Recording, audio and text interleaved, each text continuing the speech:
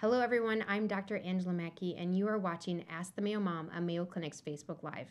Twice per month, I host this show where we discuss common pediatric health topics with top experts from Mayo Clinic Children's Center in Rochester, Minnesota. Today, we are discussing antibiotics and how the inappropriate use of them is leading to antibiotic resistance worldwide. According to the CDC, at least 30% of antibiotics prescribed in the United States are unnecessary. Today, we are going to dive deeper into understanding antibiotic resistance and why you should care about this topic too. To help us understand this better, Dr. Nipunie Rajapakse, an expert in pediatric infectious disease, will be joining us. Dr. Rajapakse is a medical director of pediatric antimicrobial stewardship at the Mayo Clinic Children's Center. She's passionate about judicious antibiotic use and teaching others about antibiotic stewardship. We are excited to have her here with us today.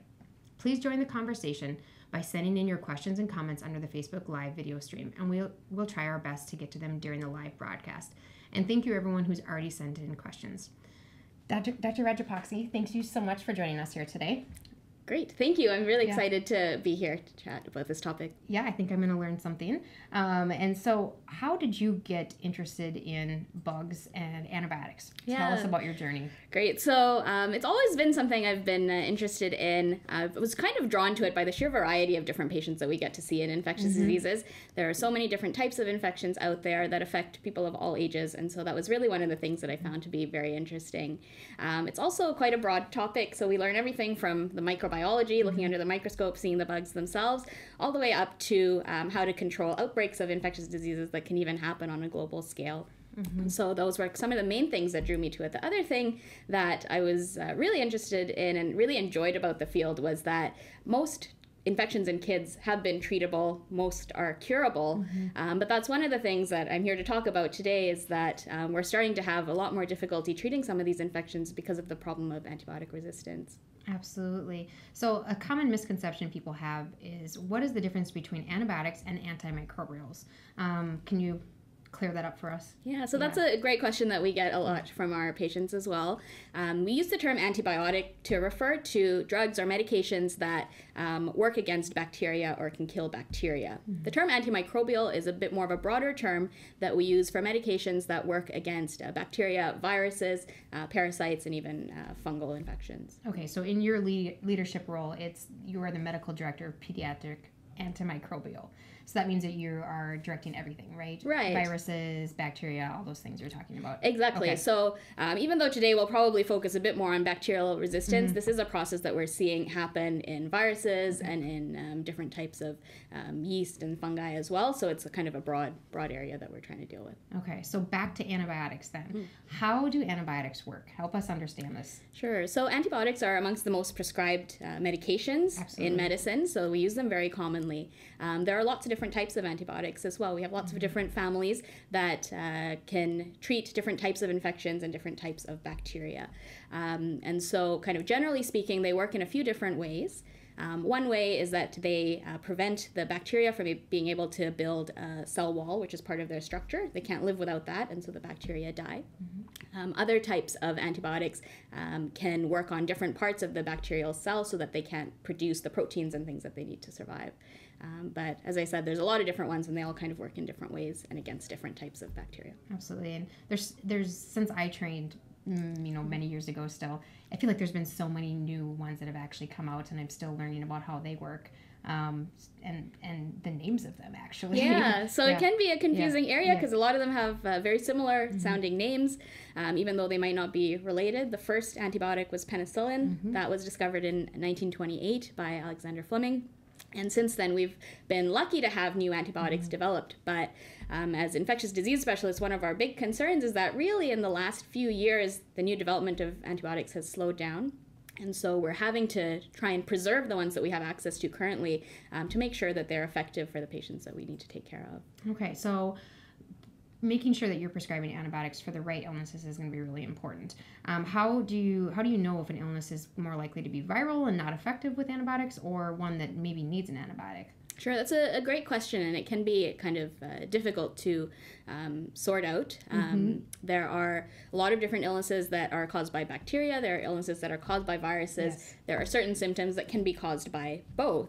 Um, some things we know are kind of always caused by bacteria. So if you think about something like a urinary tract infection, mm-hmm. that's always a bacterial process. Mm-hmm. Um, if someone truly has a urinary tract infection, then antibiotics will help them to feel better. Mm-hmm. Um, other things like uh, colds, uh, the flu, um, acute bronchitis, mm-hmm. um, or acute coughs, um, those are viral processes. Mm-hmm. And so Unfortunately, taking an antibiotic not only won't help you feel better, but it could also lead to side effects and harm. Mm-hmm. Um, other things um, like uh, stomach flus or gastroenteritis mm-hmm. um, can be caused by both bacteria and viruses, um, and so it can. Usually, from the story, a doctor can try and help to figure mm-hmm. out which might be causing the problem, but thankfully, most of those things get better on their own without antibiotics as well. A question I hear in the office a lot mm. is um, my child's snot is green, and does that mean it's a sinus infection? Do we need antibiotics? Is that true or is that a myth? Yeah, so this is a very common misconception. Um, we see green, yellow snot both with mm-hmm. virus infections and bacterial infections. Right. So that in and of itself doesn't prove that this is caused mm-hmm. by a bacteria or something like that. You can have that with a viral infection. Um, and so that is kind of one of the common misconceptions that, that we hear. The other thing that, as an infectious disease specialist, I hear um, pretty often is uh, concerns about the height of a fever and whether mm-hmm. a high fever means that this is a bacterial infection or not. And again, I we see lots of kids with infections, mm-hmm. and I've mm-hmm. seen kids who have had serious bacterial infections who maybe haven't had a very high fever, mm-hmm. and kids with viral infections that have had very high very fevers. High fevers and yeah. so um, that also is not kind of definitive for it being one or the other. Are there any type of bacterial infections that you don't need to treat with antibiotics that may get better on their own? Yeah, so that's a, a great question um, because as we'll talk about, um, over treatment of some of these things leads to your increasing your risk for mm-hmm. having a resistant infection. Um, two of the most common ones I think that uh, kids run into that um, in some cases, it's appropriate to not treat with an antibiotic, mm-hmm. even though they're caused by bacteria, um, are bacterial sinusitis or sinus infections mm-hmm. and um, bacterial ear infections. We know that, um, especially for both of those two, most kids will get better um, on mm-hmm. their own. Um, it's important that if they're having things like ear pain, you can give them um, things to help with the pain, like ibuprofen or um, acetaminophen, um, and kind of symptomatic relief, and they will tend to get better on their own. But those are probably the two most common ones mm-hmm. that we, we run into that it is appropriate in some cases to watch and see if the child improves. Absolutely. One of the ones we see a lot in the, my pediatrics office is conjunctivitis, mm-hmm. and we're starting to change our our kind of management of that too, and not using the antibiotics, um, antibiotic drops or ointments as quickly as we used to. Right. Yeah. Most kids will get better on their own. Exactly. Um, and sometimes it just shortens the treatment by a day or two. Exactly. No, mm-hmm. that's a, or shortens the point. symptoms. Excuse me, not treatment. Yeah. Um, any time that we can avoid exposing kids to things that might increase their risk of having a, a side effect mm-hmm. or um, a reaction to, I think we always prefer to do that. Okay, so well, let's talk a little bit about side effects now that you're bringing that up. What are some of the side effects of antibiotics? Because people really seem to want them sometimes because they want to feel better, right? Right. Um, but with anything, there's risks and there's unintended consequences sometimes. Exactly. So, like all medications, as you mentioned, there are um, risks and benefits, and so mm-hmm. it's always important to have that discussion with your healthcare provider if they're planning to uh, prescribe an antibiotic and to find out if one's going to help you or not. Mm-hmm. Um, some of the most common um, side effects that we hear about with antibiotics, the most common one I would say probably is diarrhea. Mm-hmm. Um, unfortunately, so antibiotics will kill uh, harmful bacteria that are causing your infection, but they also have a big impact on uh, the helpful bacteria that live in and on our body as well. And so diarrhea is probably one of the most common things um, that we hear about. Um, antibiotics can cause allergic reactions ranging from relatively mild to very severe mm-hmm. allergic reactions or anaphylaxis um, that can be life threatening. So, we do see um, cases of that. Um, they can also cause other types of allergic reactions that mm-hmm. cause kind of serious um, skin uh, rashes um, that can be quite serious and end up uh, having to admit kids to hospital for that. Um, uh, like all medications, antibiotics need to be processed by our body. Usually that's mm-hmm. done through our liver and our kidney. Mm-hmm. Um, and so, especially if you're on them for a long period of time, it can lead to harm to those organs as well. Okay. Well, we've mentioned antibiotic resistance. Let's get to that topic mm-hmm. a little bit. Um, why does inappropriately prescribing antibiotics lead to the resistance um, development that we're seeing? Yeah, so we know that um, overprescribing of antibiotics really is the biggest driver of mm-hmm. uh, the problems with antibiotic resistance that we're seeing. Um, it is a complicated process, and there's a lot of different factors involved. But that truly is the thing that's really speeding up um, our path towards uh, having these resistant uh, bacteria. Um, I think we have a graphic that uh, will maybe help to explain this a bit more. So, as I mentioned, um, we have as many bacterial cells that live in and on our bodies as human cells. Um, some of these are helpful and some of these can be harmful. Amongst these uh, bacteria, there are some that are relatively more resistant to antibiotics and some that are more sensitive. So when you give someone an antibiotic, um, you kill off the more sensitive ones, and then the more resistant bacteria are uh, kind of left over.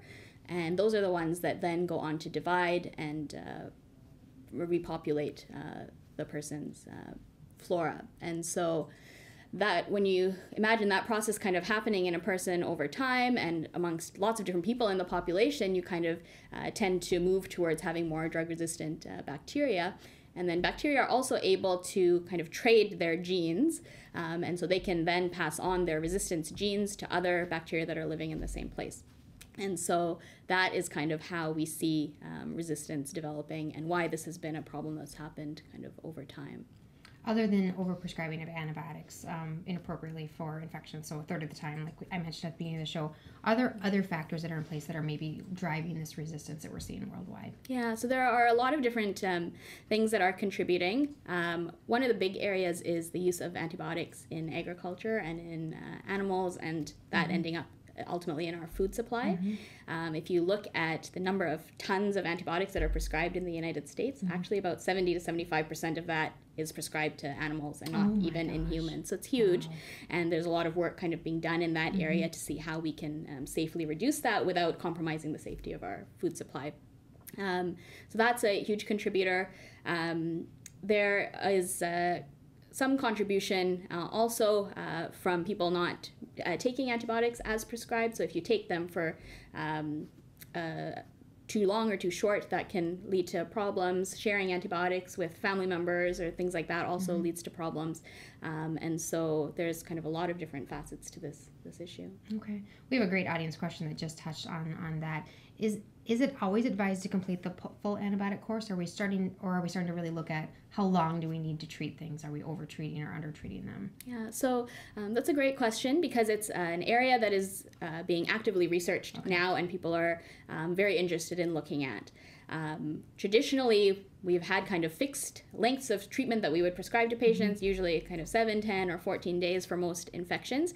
Um, but people are looking to see whether we may be able to get away with shorter uh, durations of treatment for some of the common infections. And so there are studies underway right now that are looking um, at that question.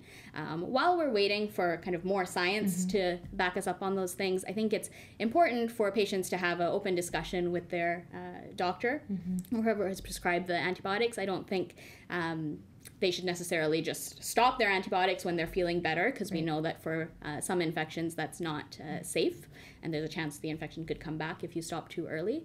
Um, but certainly it can be kind of an open discussion with your uh, healthcare provider to decide whether mm. um, you need to take X length of treatment. Okay. As a, as a provider, we always um, think about what are we trying to treat?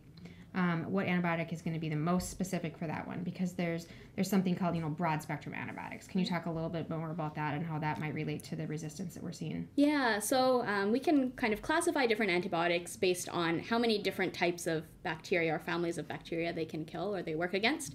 Um, and so when we talk about broad spectrum antibiotics we're talking about antibiotics that uh, work against a wide variety of mm-hmm. different uh, types of bacteria Whereas when we talk about um, narrow spectrum antibiotics, those are pretty focused mm-hmm. and targeted to kill um, certain bacteria. Um, we know that uh, exposure to broad spectrum antibiotics, especially for prolonged periods of time, uh, increases your risk of having a more resistant infection the next time you were to get an infection, and also seems to push this uh, process of resistance that we described with mm-hmm. the graphic along kind of faster than the narrow spectrum antibiotics. And so it is uh, really important if someone is very sick and comes into hospital, usually uh, to be safe, we will prescribe a broad spectrum antibiotic because you don't want to miss something mm-hmm. in that mm-hmm. circumstance.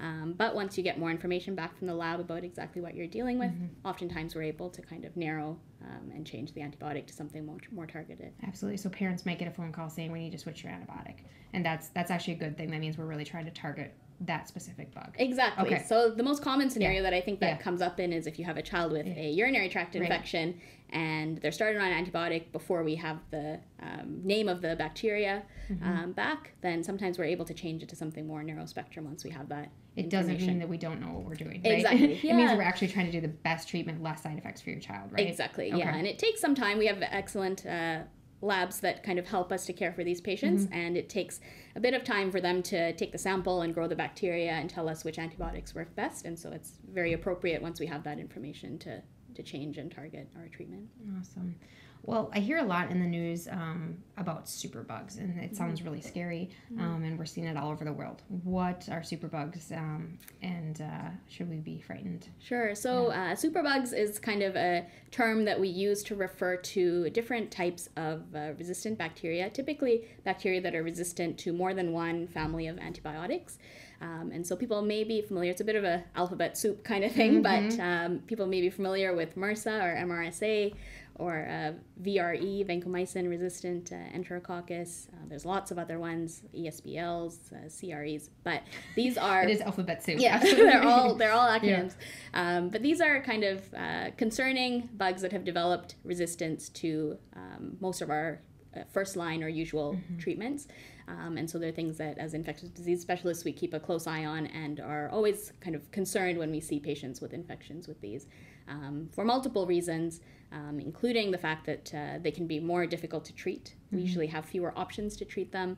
Um, they make people um, quite sick, and sometimes we need to use um, older or sometimes more um, toxic antibiotics just because those are the only options that we, we have to treat some of them. So, yeah. How, um, how as an infectious disease community, are you trying to keep some of those those antibiotics that um, are kind of a last resort, keeping them so they still work and don't develop those multi drug resistant organisms or the superbugs? Yeah, so there's a lot of things that um, we've been trying to do to help kind of slow down this progress uh, that we're seeing uh, towards resistance.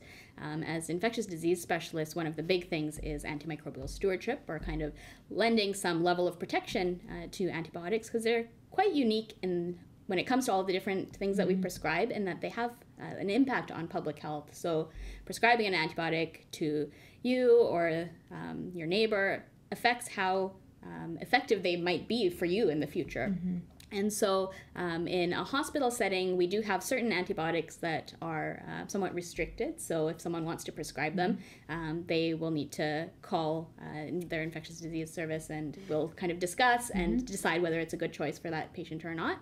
Um, so that's kind of one of the things. And then we're also involved in kind of reviewing the kids in hospital who are on antibiotics and helping um, doctors from different teams decide whether they're on the best treatment or whether there's something we can change to help protect them from uh, developing resistance. Okay. The microbiome is kind of another mm-hmm. another hot topic both in like literature research and, and also in, in the news what is the microbiome and um, and how does that relate to the good bacteria sure so yeah, yeah it's important to realize that um, not all bacteria are bad mm-hmm. in fact most of the bacteria that we have um, in and on our bodies help to protect us and help to keep us healthy mm-hmm. Um, and so the microbiome uh, kind of refers to that population of bacteria and microorganisms that uh, live in and on us um, and that are generally uh, beneficial to us um, it's a complicated kind of rainforest of different um, organisms um, that is very individual. So we think probably mm-hmm. even as individual as your fingerprint um, and can be affected by a lot of things, mm-hmm. Um, including uh, your gender, where you live. Um, whether you've taken antibiotics recently, whether you have other chronic illnesses or uh, mm-hmm. diseases. Um, it's an area of very active research. Mm-hmm. Even here at Mayo, there are people that are working on it um, because we're still trying to kind of understand first how do we measure it the best mm-hmm. um, and secondly kind of what impact does it have on our health and are there things that we can do to um, help to preserve it or to kind of um, harness it to keep keep each other healthy Okay, on the topic of microbiome, we have a great question about probiotics because probiotics are thought of to be kind of the good bacteria. Sure. Um, and they, this person is wondering if, if there is a benefit to using probiotics if you're prescribed an antibiotic. Sure. So that's a great question. Um, again, it's kind of a area of uh, active research within infectious diseases. Um, if you think about probiotics, most probiotics are uh, kind of one or a few types of um, helpful bacteria in kind of a very concentrated form. As I mentioned with the microbiome, it's like a rainforest of different bacteria. So um, when you give someone an antibiotic, you may decrease the variety within their microbiome. Um, probiotics can help to reintroduce some good bacteria, but it's almost like cutting down the trees in a rainforest and then replanting all of the same type of tree. It's not really exactly the same thing that you've done. Okay. Um, it may be helpful in some situations in kids. Um, we think that likely, uh, if they're prescribed an antibiotic, getting a probiotic can help to reduce their chances of getting diarrhea from the antibiotic. So there's pretty good um, research to support that, but um, we're still kind of trying to figure out um, where they may be more helpful. Okay. Um, in does the timing of when they take the probiotic matter? Does it need to be after they complete the antibiotic course or during it? Um, so generally, uh, it doesn't really matter. It probably depends a bit on what antibiotic you're taking and what probiotic. Um, but for prevention of antibiotic-associated diarrhea, generally we ask that tell them to take it while they're on the antibiotic. Okay, fantastic. Um, well, let's talk about a little bit, uh, a little, a little bit about some of um, the classification of allergies to antibiotics and how that might relate to antibiotic resistance. Yeah, so this is a great question that we get a lot of uh, questions from our patients about as well.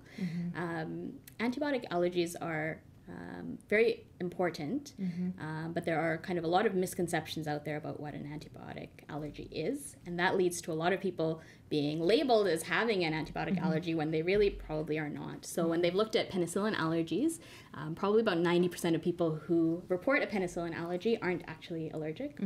The reason this is important is um, that when you do have an infection and you go to a doctor and you have a listed uh, penicillin allergy, um, the number of options your physician has to choose from to treat you becomes much more limited because penicillins are a big family of antibiotics and usually the first choice treatment for a lot of uh, different common infections. Um, and so we have much uh, fewer options to choose from, and those options tend to be more broad spectrum options. So we talked a bit about um, why that's a problem with resistance. They can be more toxic or have more side effects, and they tend to be more expensive as well. So, for all those reasons, um, it's important to not have people labeled with an allergy unless they truly are um, allergic. Um, so, common uh, side effects from antibiotics, things like diarrhea, are not um, an allergy. Or Um, vomiting and nausea. Exactly. Abdominal pain, um, vomiting, nausea are common things, unfortunately, that people on antibiotics get and certainly aren't pleasant, but um, shouldn't be documented as an allergy um, to that. And those are more side effects, not actual allergies. Exactly. Yeah. So when we talk about allergy, really what we're talking about is um, uh, hives type rash. Um, so these are usually very itchy, um, red, raised um, rashes that can kind of seem to move around in different places. Um, and then certainly some of the more serious uh, symptoms of a allergy uh, can be uh, swelling of the airway, difficulty breathing, low blood pressure. Um, those are all obviously kind of serious um, manifestations of allergy. Um, but non-hives rashes uh, are quite common um, and are generally not a sign of an allergic reaction, and that's kind of that and diarrhea are kind of the two main things that we see people being uh, told that they're allergic to an antibiotic when really they they aren't. Mm, absolutely. I see that a lot in my practice too. So it's helpful to talk to your provider and talk to potentially an allergist to help with clearing up that, that concerns about allergy, the allergy to especially penicillin classes. Exactly. So there is um, uh, skin testing that allergists can do if they uh, think from the story that you would be a good candidate um, to have that done. Um, and so definitely an important thing to talk to your physician about to see if maybe um, that applies to you or your child. Okay. We have another excellent audience question. And so this one says so many viral infections um, pro- progress to become a bacterial secondary infection is what this person is saying and why why shouldn't we just start the antibiotic treatment as soon as the symptoms appear? Yeah, so it is true that having a viral infection can increase your risk of developing what we call a bacterial superinfection. Um, at the time of the viral symptoms, it is basically impossible to predict which people will go on to develop a bacterial infection and which people will just recover and do well on their own.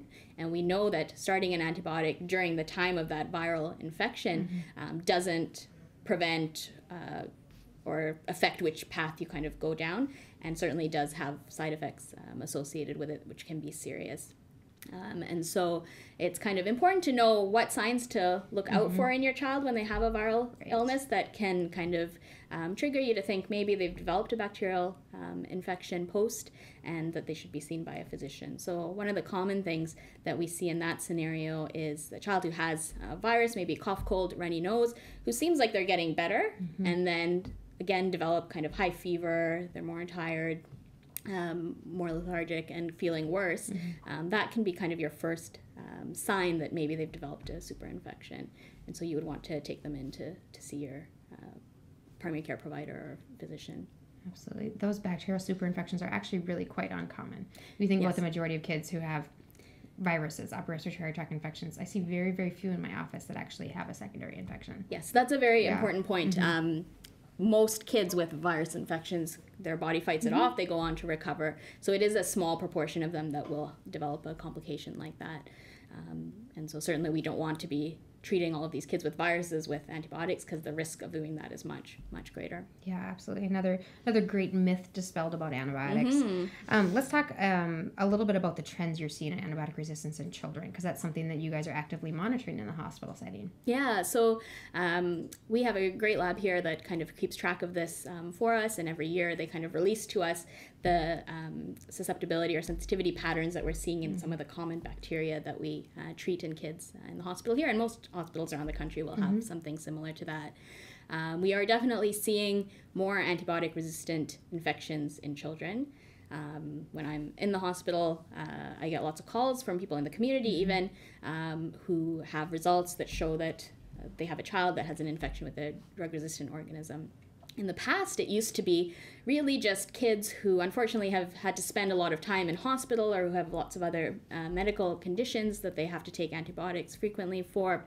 But uh, more recently, we seem to be getting more calls, even from otherwise healthy kids who haven't really um, been exposed to, to much or have not had a lot of previous infections that end up growing a bacteria that's quite resistant. And so we are uh, definitely getting more and more and seeing more and more of those, those cases now. Um, so we do know kind of uh, infections with some of the superbugs that we're talking about are on the rise, um, especially amongst um, urinary tract infections, which we see um, not uh, too uncommonly in kids. Um, we're definitely noticing um, that those are becoming more difficult to treat.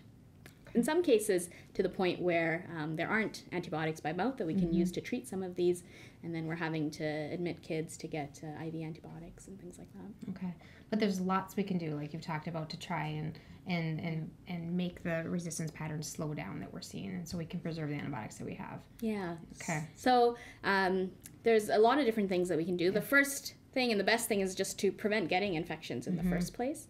Um, so as simple as it sounds, um, in infectious diseases, we like to harp on hand washing. Yes. Um, and so uh, that is probably the most effective way to keep you and your family healthy.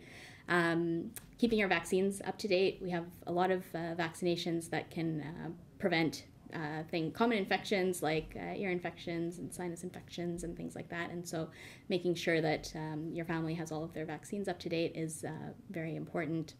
Um, and then, if you do end up needing to take an antibiotic, making sure that you uh, take it as prescribed, um, that you don't uh, stop it early, um, and that uh, you let your physician know if you're having any problems or side effects from it, um, is an important part of it as well. Absolutely. This has been wonderful. Thank you for sharing all of your knowledge about antibiotics and resistance and how we can try and stem this um, from worsening. So, thanks for joining us today. Thank you for having wonderful. me. Um, join us for the next Ask the Mayo Mom, which will be on April 5th. Our guests will be Dr. Flora Howie, who is a developmental and behavioral pediatrician. April is National Autism Awareness Month, and autism will be the focus of our discussion with Dr. Howie, who is an expert in autism. Um, thank you, everyone who joined us and sent in questions today. If we weren't able to get to those during the live broadcast, we will try our best uh, after the show. Um, please um, have a wonderful day and join us next time.